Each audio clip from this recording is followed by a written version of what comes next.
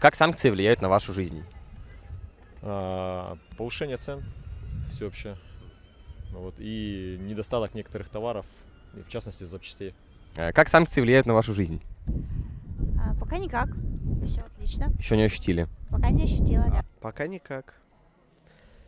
Ну, кроме Инстаграма, хотя я им не пользуюсь, вот человек пользуется Инстаграмом. Вам вас влияют санкции на вас? Да, честно говоря, очень хочу в маке покушать.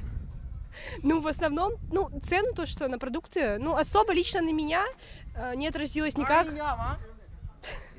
На меня лично никак не отразилось, кроме, там, не знаю, каких-то, возможно, мака, все, более никак. Ну, Инстаграм, опять же, все. Ну, 50 на 50, можно сказать. Больше плохо или больше хорошо? Средний. Как санкции влияют на вашу жизнь? А что такое санкции? Это ограничения, которые вводятся со стороны стран НАТО. Чую здесь, на, на вокзале, вот здесь. Э, Ты не смотри, что я неплохо. Мне депутаты подарили. И чем мне ругаться на мое государство? Санкции я не знаю. Короче, за меня друзья все платят. Мне... Не так, не так. Сейчас бы я сказал, нормального нету. Всегда война. Пока у тебя в душе война, ты живой. Абсолютно никак. Все таким же чередом идет, как и прежде. Ну, как она влияет? Не знаю. Положительно.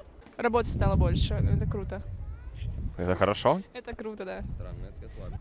Большинство запретили всего, невозможно даже Spotify банально обновить подписку. Э, Карта, я не могу оплачивать в автобусе Apple Pay, вот это все. Все плохо. Да. Теперь я мало кушаю. Так, да. Спасибо.